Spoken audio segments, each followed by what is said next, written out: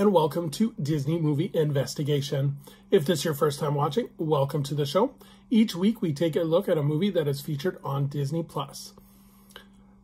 So for this week's episode, we are taking a look at the 1998 sci-fi epic Armageddon, starring Ben Affleck and Bruce Willis. And stay tuned for our bonus story as we head over to Disneyland Paris as we take a look at the uh, special effects show Armageddon Le, Le Effects de Spécial. And if you are enjoying these videos, please do hit that subscribe button. That way you will be notified each time a new video is uploaded. But for now, sit back and enjoy this episode of Disney Movie Investigation. So like I said, today we are covering Armageddon. This movie was released on July 1st, 1998, and it was directed by Michael Bay. It was written by Jonathan Hensberg and J.J. Abrams. The production company was Touchstone Pictures, the budget for this movie was $140 million, and the box office was 533.7 million. So let's take a look at the cast. So we have Bruce Willis, who plays Harry Stamper, Billy Bob Thornton, who plays Dan Truman, Ben Affleck, who plays AJ Frost, Liv Tyler, who plays Grace Stamper, Steve Buscemi, who plays Rockhound, Owen Wilson, who plays Oscar Choice, William Fichtner, who plays Colonel William Sharp, Michael Clarke Duncan, who plays Jetolas Caroline Bear, and Will Patton, who plays Charles Chappie. In terms of the plot, due to a shuttle's unfortunate demise in outer space, NASA becomes aware of a doomsday, doomsday asteroid that is on a collision course with Earth. It seems that the only way to knock it off course is to drill into its surface and detonate a nuclear weapon. But as NASA's underfunded yet resourceful team trains the world's best drillers for the job, the social order of the world begins to break down as information reach, reaches the public and hysteria results.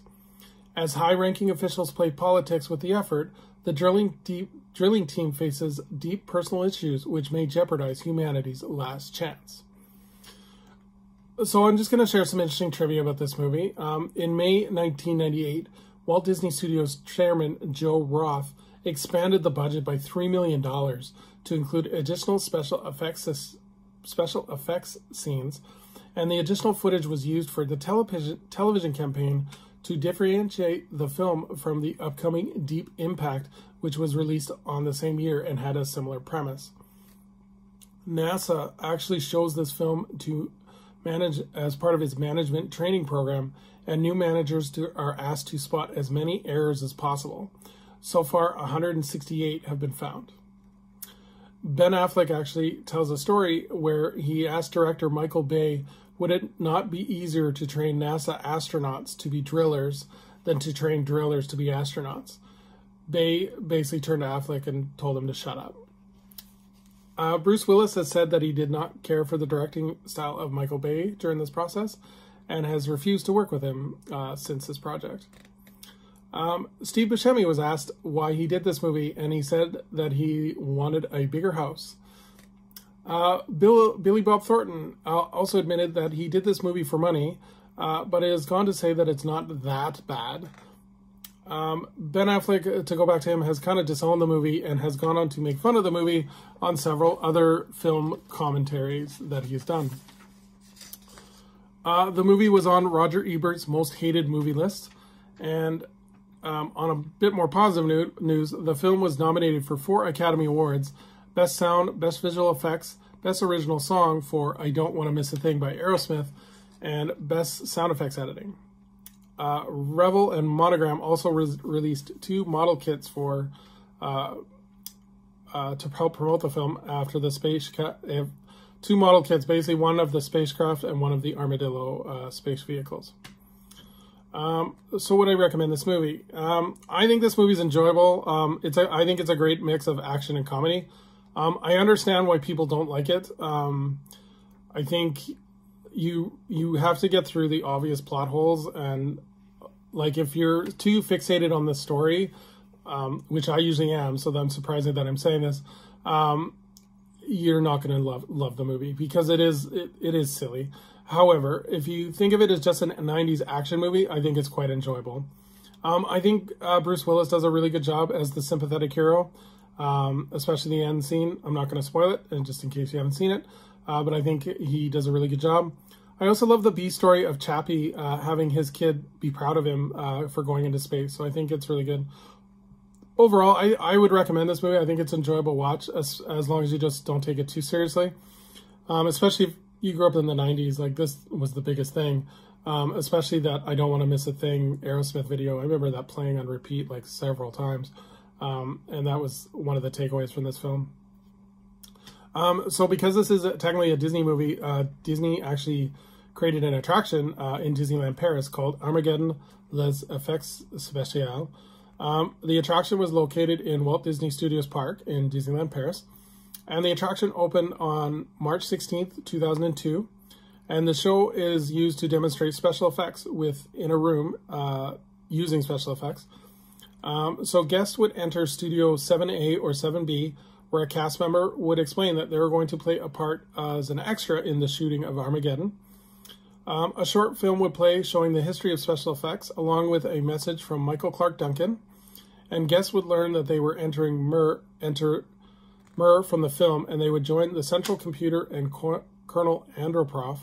Um, so basically, they're entering the space station where the, in the movie they um, they go to gas up. Um, so guests enter the station's main deck, and the director calls action, and several scenes ensue. Uh, the windows open and guests see the arrival of the meteorite.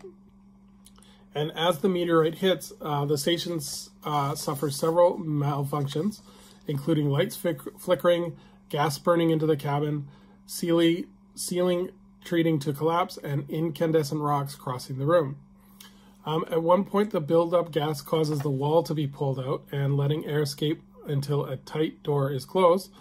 And then the finale saw the meteor landing on them and a powerful explosion occurs. The director calls cut and closes the show. Uh, the show lasts about 22 minutes. Um, yeah, I've never I've never been to Disneyland Paris, so I never saw the show. Um, from what I'm told, it's not great. Um, I just heard that it's just one of those one and done type things. Um, it wasn't um, that like it's it's typical like special effects for those of you that have been to Universal Studios in Orlando, it was very similar to the Twister experience. Um, so very kind of, it shows the special effects, but again, it's not something that you would ride over and over again. Uh, the show did last though until April 1st, 2019, uh, when it closed to make room for the Avengers Campus experience. So thank you so much for joining us here on this episode of Disney Movie Investigation. Uh, please leave a comment what you think of the movie Armageddon. I know it has a very controversial, some people hate it, some people love it.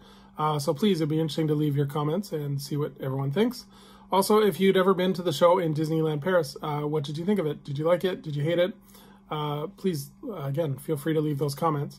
Um, and so for our next episode, we are going to continue to explore the world of the, of the world of movies for Disney Star as we take a look at the uh, historical drama The Alamo starring Billy Bob Thornton. Uh, so until next time, I hope you have a magical day and we will see you real soon.